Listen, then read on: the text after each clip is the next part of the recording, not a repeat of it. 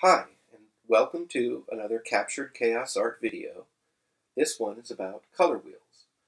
I'm going to talk about how I use the color wheel to mix paints and understand what colors I will get, and also how I use the color wheel when I want to plan colors for a painting.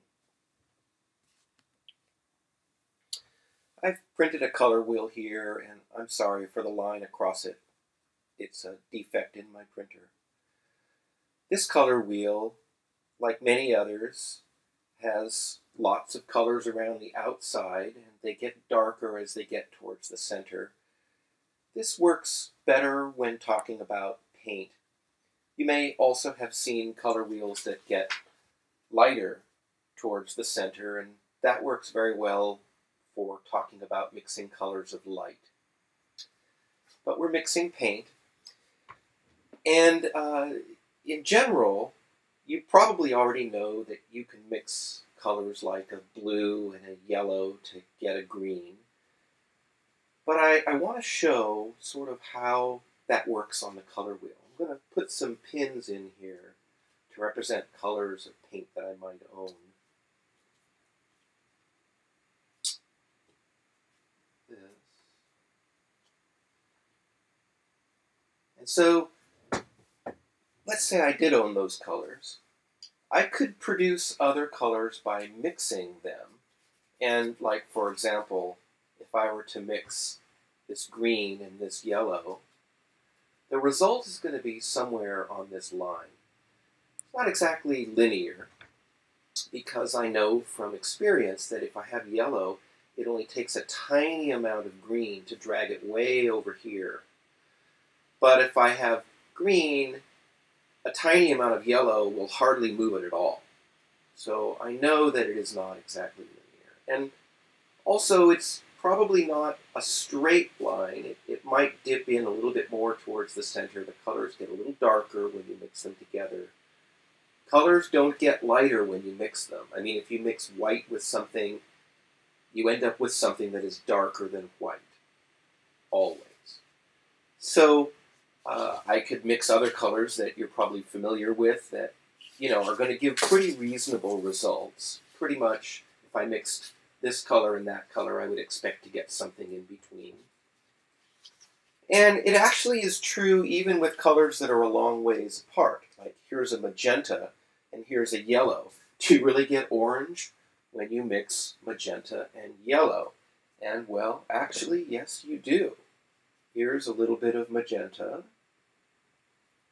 and here's a little bit of yellow. And if I mix those together, I get orange. Might not have been entirely obvious, but orange is right there between magenta and yellow. I mixed them pretty much 50-50, pretty close, and it, it came out pretty much towards the middle. So um, that works remarkably well, even when you're talking about colors that are on opposite sides of the color wheel. So for example, this green and this magenta go right through the middle. That means I would expect them to get brown or black. Not really black, black is hard to make, but I would expect it to get pretty brown. And so here's hook green, Here's some magenta.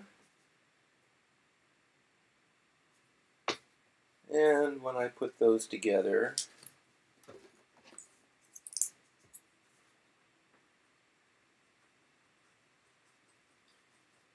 it turns pretty brown.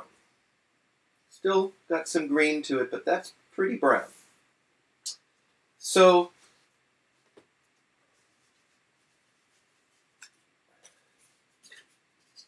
in general, if you were to add black to any of the colors on the outside, you'll move farther and farther towards the inside.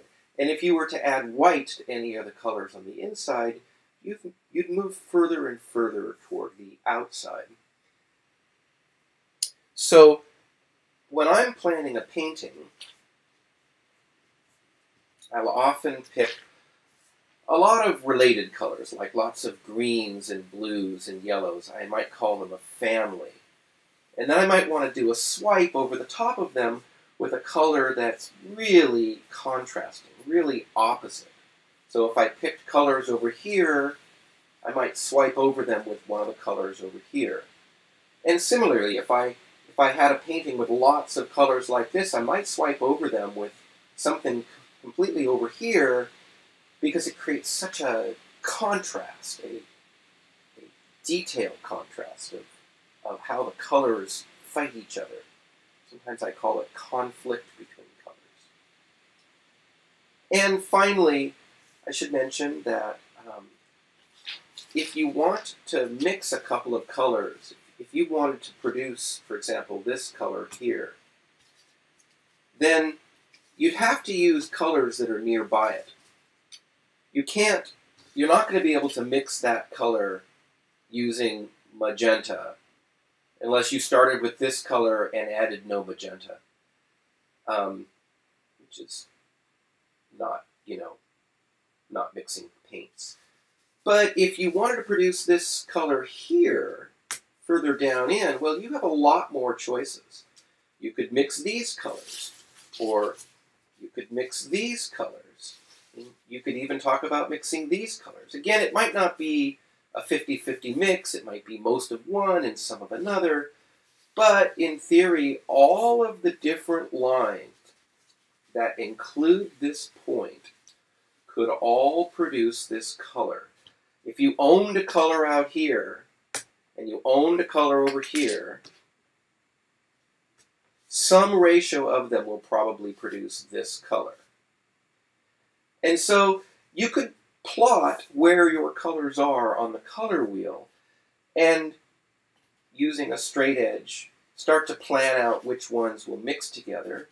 And also, you can plot where your colors are to understand where opposing colors would be to create color conflict.